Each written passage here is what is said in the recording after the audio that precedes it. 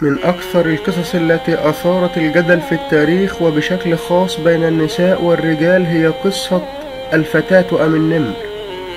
للأديب الأمريكي فرانك ستوكتون. مضمون القصة أنها تحكي عن ملك سادي. ابتدع طريقة جديدة لمحاكمة المتهمين. وهي أن المتهم بجرم ما يقف أمام بابين مغلقين.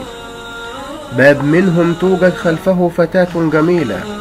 والثاني خلفه نمر جائع لو فتح الباب الذي خلفه الفتاة الجميلة يتزوجها المتهم إجبارا.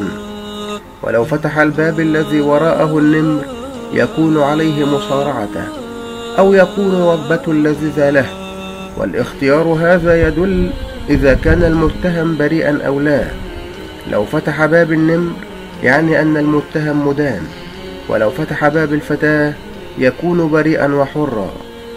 كان جدل القصة أن ابنة الملك أحبت شخصا من العامة وهو أيضا أحبها.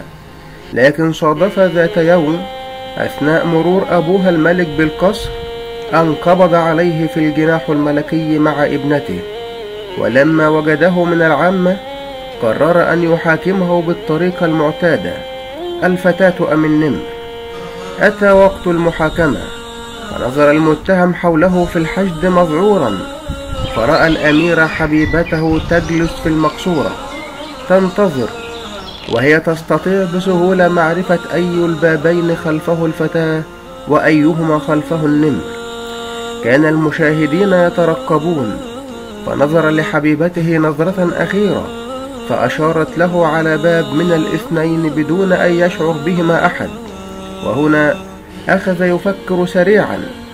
فهو متأكد للغاية من أنها تحبه وتريد له النجاة وبالتالي محال أن تكون قد أشارت له على باب يكون النمر خلفه لكن الأميرة امرأة وبطبعها غيورة فهل أشارت له على الباب الذي خلفه الفتاة الجميلة والتي يتوجب عليه حتما الزواج منها؟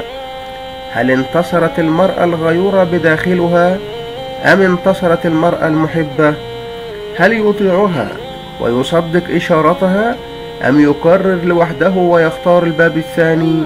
أخيرا قرر الشاب أن يفتح الباب الذي أشارت عليه الأميرة وهنا نجد المؤلف يقول أنا آسف لا أستطيع أن أتوقع النتيجة ولا أعرف ما الذي خرج من الباب الفتاة أم النمر؟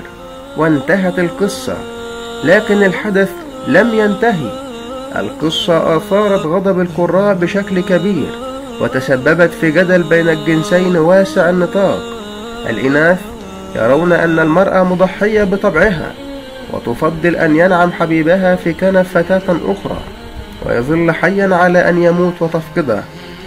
والرجال يرون أن هذا هو طبع المرأة تفضل أن يمزق حبيبها نمر متوحش على أن يعيش مع امرأة أخرى غيرها.